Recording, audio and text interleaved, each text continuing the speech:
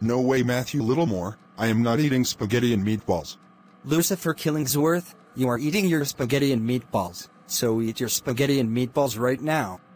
No, I want Burger King. We are not having Burger King. Now eat your spaghetti and meatballs or you'll be grounded. You know what? That's it. I'm throwing my food out of the window.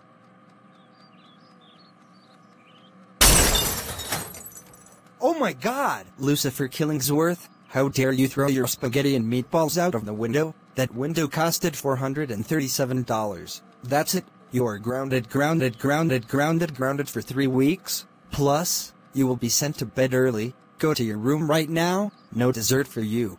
Wah.